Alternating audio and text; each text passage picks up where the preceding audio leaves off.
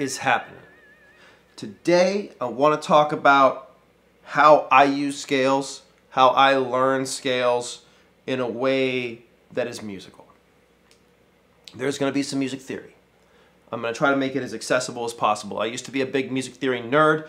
I think that a lot of it um, held me back as a player, but some of it is very useful, and it's also very useful in communicating with other people. But as using it as like a what is the next thing, I think again, if you haven't watched any of my other videos, this is the key. We are in open D tuning.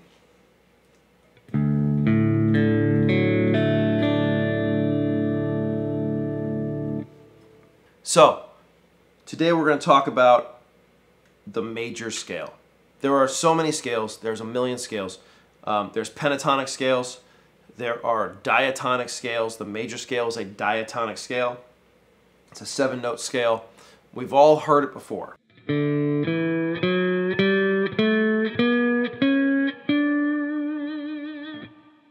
When I use this same I use this same approach for all the scales. For the minor pentatonic scale, uh, for minor scales, if you want to get really fancy with a Mixolydian scale or some other sort of scale, there's, there's a million tricks. This is where we start. We start with the major scale, and there's a lot of reasons why, but the real reason is because that's what sort of music theory and all of this stuff is built off of. So, the major scale, you've heard it. You may think of it as do, re, mi, fa, sol, la, ti, do from Sound of Music, right? Do, re, mi, fa, sol, la, ti, do.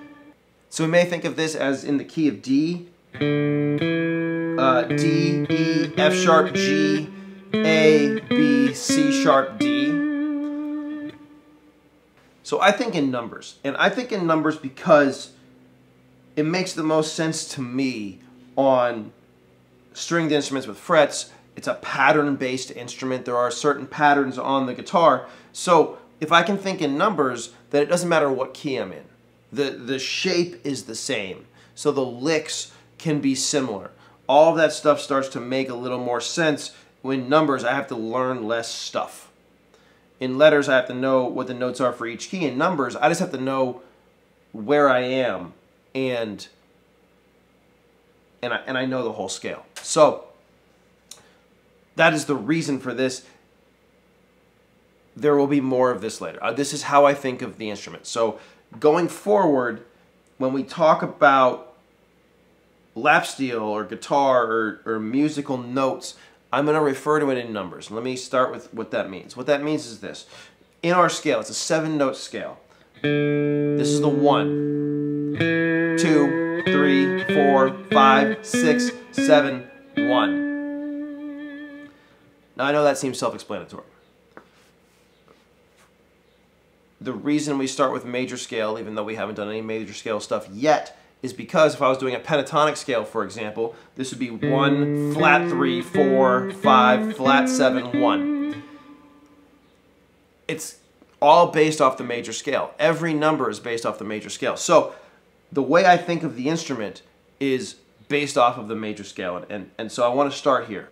I can take a pattern and I can move it all over the neck.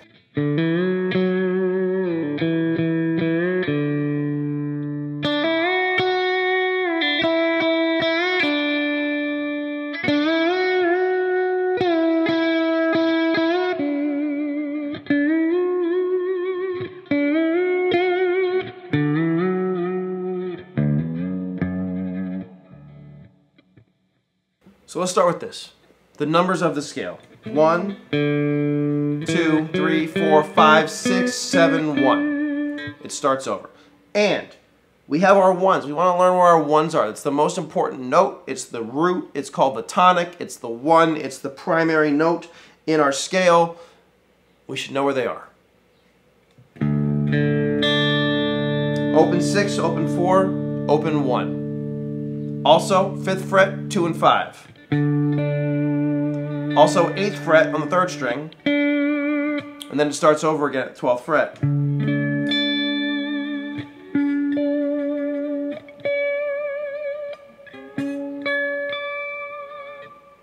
little out of tune there at the top. So let's start, we have our ones, let's start with just a real simple one, two, three. You hear it all the time. It's really it's a really common.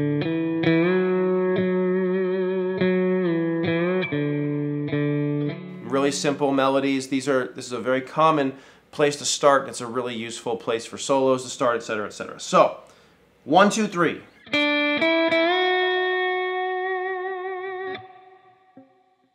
Try to make it as musical as possible. We're not talking about practicing a scale. What we're talking about is playing music. And so, take the one, two, three. It's a it's a melody. Right? Find all the different ways to play it. Obviously, one string. That's 8, 7, uh, 8 10, 12. On my third string. Also, uh, 5, 7, 9 on the second string. Or open 2, 4 on the, on the first string. Try going in between the strings.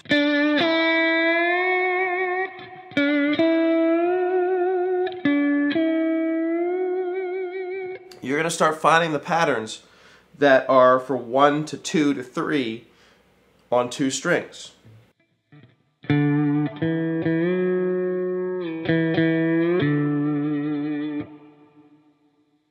This is the basis of finding melodies and, and creating solos. Um, we have licks, obviously. But that, that's going to get old fast. So the, the real key to creating something that's memorable and nice uh, is, is going to be a melody. We know one, two, and three. We're starting on the ones. We are learning our one, two, and three. We have now started working on those throughout the neck, hopefully. I want you to take a break. I want you to just work on the one, twos, and threes.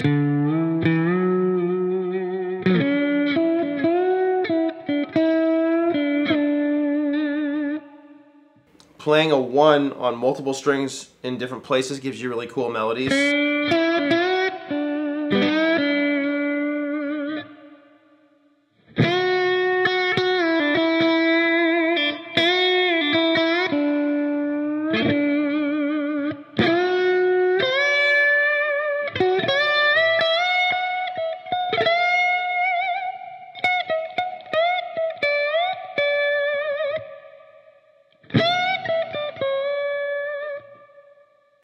Okay, I just added a note. So let's add that note.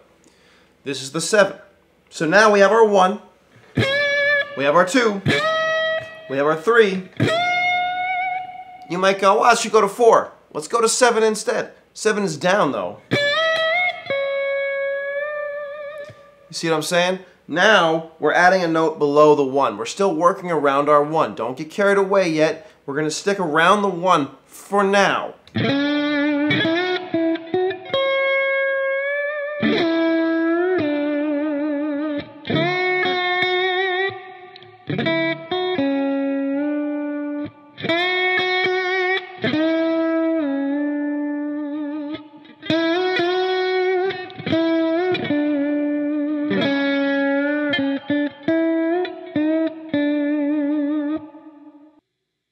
Keeping it really simple, finding really beautiful melodies using just a few notes. It, it's it's easy to get carried away and start trying to just range throughout the whole the whole fingerboard. But it's not it's not the way to go.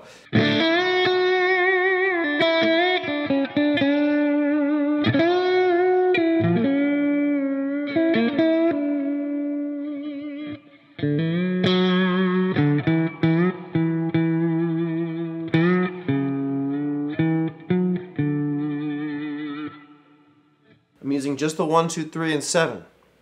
So let's let's try playing around a different a different note. We've done one. Let's try let's try five.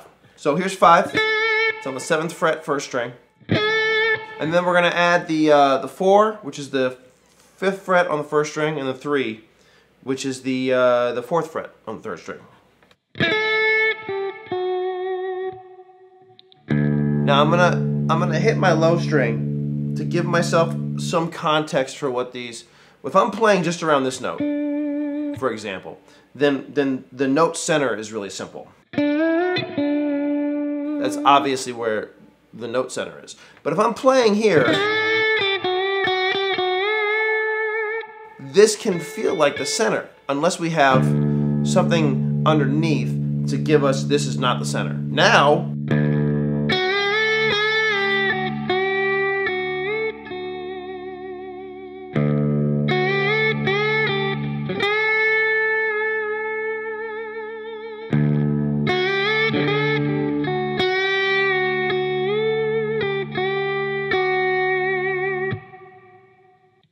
We can do that all over the neck.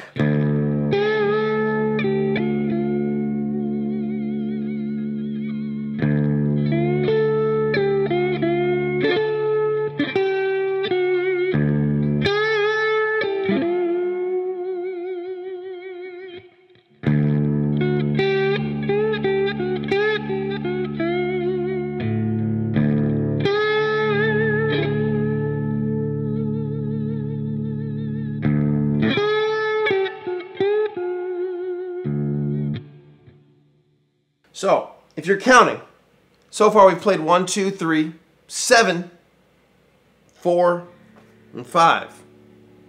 That's six notes. We're in a diatonic scale. We're going to add the seventh note, the six. Okay? It's right above the five.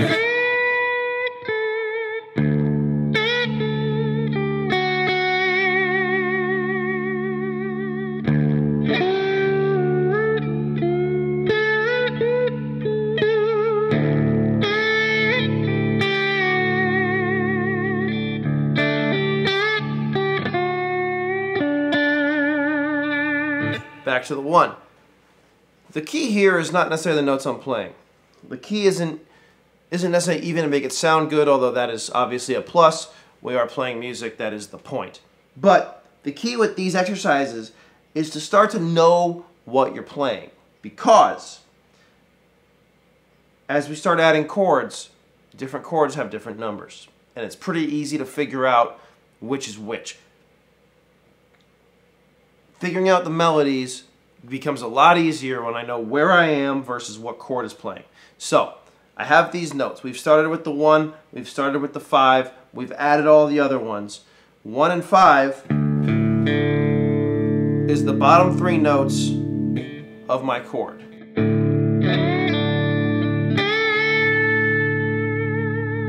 That's a 1,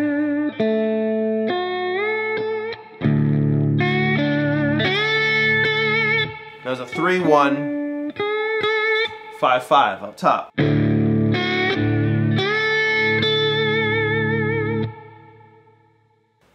Now we're talking in numbers. We are thinking in numbers. So here's the way we build a chord. The way we build a chord, a major chord, is the 1, the 3, and the 5 of its major scale. What that means is that this shape the shape on our on our open strings is a major scale shape. It's a major chord shape. Straight across the major is a major chord. Now, we will notice that when we go to our second chord, we haven't really talked about this. Let me throw up a quick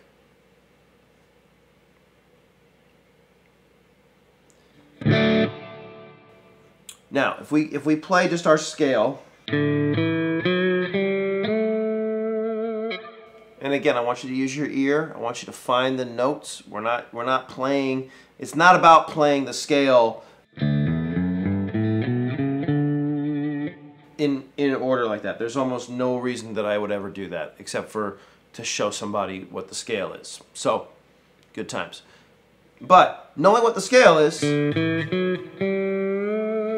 lets me know that my next notes for each of these strings is going to be the second fret, second fret, second fret, first fret, second fret, second fret.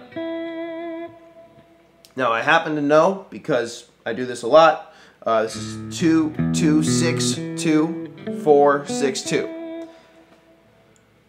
The way that this one note is down, I'm going to throw up a a, a, diagram here, right? The open strings, the open strings right here, I, I hope, we'll see, we'll see what happens. The open strings are a major chord, straight across is a major chord. This next shape here is a minor chord. Obviously we can't really play it straight across as a minor chord um, to make it all ring. But but knowing that these are the notes to a minor chord, in this case E minor,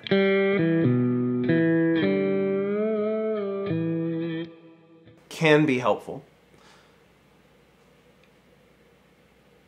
Knowing that it's two six two four six two is super helpful. Knowing where my ones are, I know I have a one here, so I know this is a two. We know we've learned where our fives are, though we haven't talked about it. But here's our, our fives are open on the um, on the second, fifth fret, third fret, third string, and uh, uh, seventh fret on six, four, and one. We're gonna have notes everywhere, but knowing where my five is means I know where my six is. Knowing where my one is means I know where my seven is. Five, six, seven, one. As I start learning my shapes, where my ones are, I know that this here is a major chord, right? What number is it? One, uh, yeah, one, two, three. It's the four chord. So I have a one in my four chord. The four chord happens to be four, one, four, six, one, four. the way this helps me, the way thinking in numbers helps me, although obviously thinking in letters helps the same way, but then I gotta know offhand that if I'm playing in D, G is the four. When I just know, here's my one, here's my four, then this shape, I'm like, there's the four chord, there's a four note, there's my one note, there's a shape there that I can use to create melodies.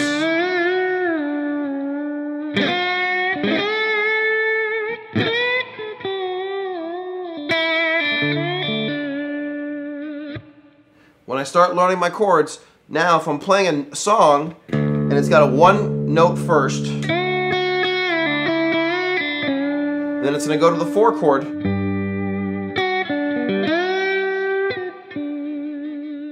Because I know the notes in the chord and the notes in the scale, I can play a four against the four, or I can play it up here because I know where it is, because I know where my five is. Five is here, four is two frets back. Right? I know where my three is, so I know where my four is. It's one fret up. As I start learning the patterns of the chords, of the notes around the chords, I'm going to start knowing how to play to these chords. As soon as they show up, I'm not, I don't have to sit there and work it out anymore. It's like, oh, we're playing here. Okay?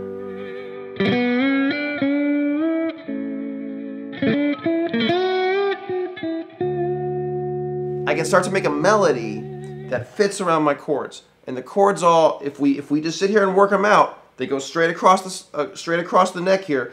I have my one chord, my two chord is based off of this note. My three chord is here. My four chord is here. Four chord again is straight across.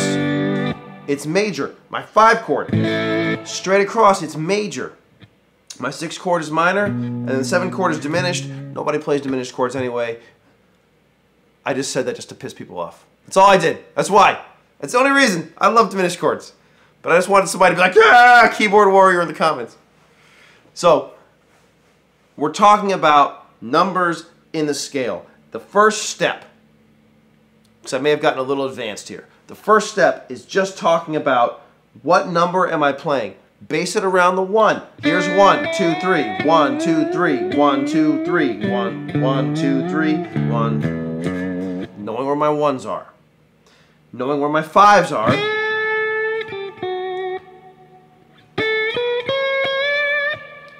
Between the five and the one, there's two, three, and four. Three notes. Between the five and the one the other way, there's six and seven. There's only two notes. If I know where my ones are and my fives are, I'm dialed in. So if we start learning the notes around one and five, I'm going to add one more, knowing where my threes are. These are all the notes from the from the one chord, from the major chord D, D major. One five one, three five one. It's the first time I've said that this whole video. We'll see what happens. If I know where my ones, my threes, and my fives are, then I know where every note in the scale is.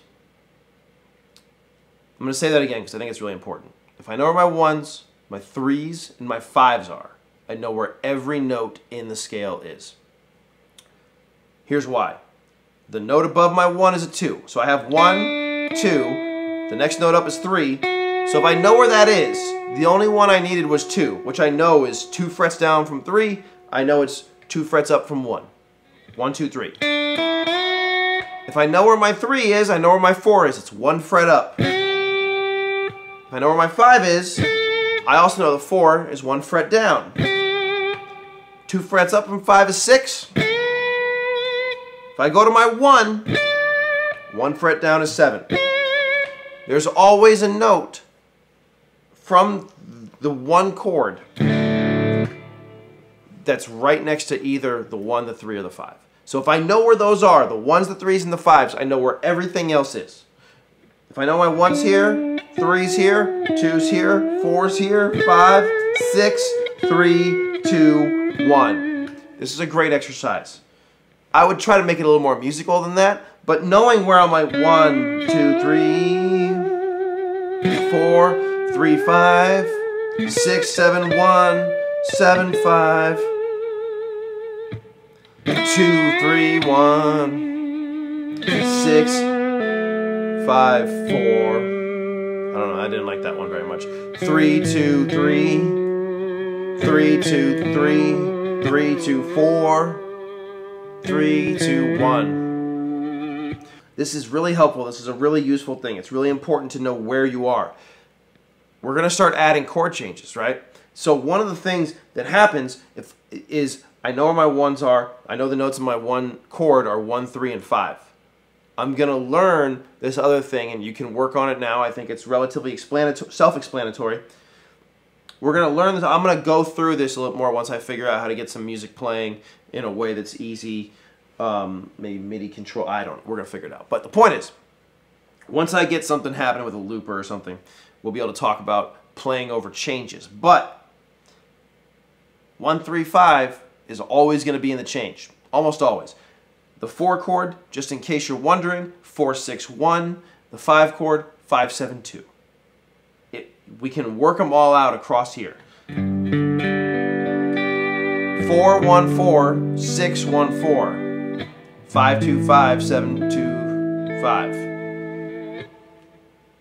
but I start with my one chord. I start with these notes, and I start by knowing where I am. One, one, two, three. Just the one, two, threes.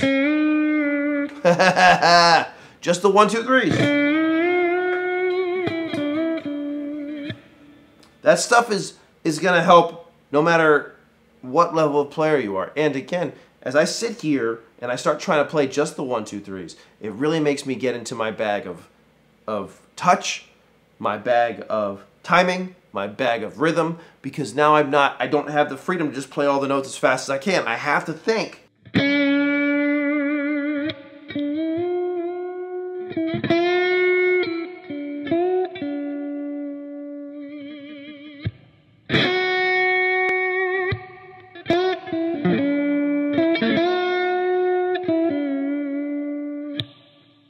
See, I got I got complacent. I added the seven. I got to not do that we want to keep trying to get more creative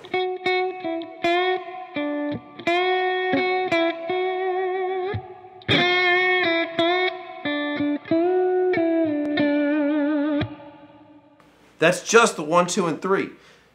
Now I have something that people can grab onto. That's to be much more impressive in a solo, even though I know we all want to hear the all the stuff. And if you want the technique for that stuff, MikeWitcher.com. Lessons with Troy.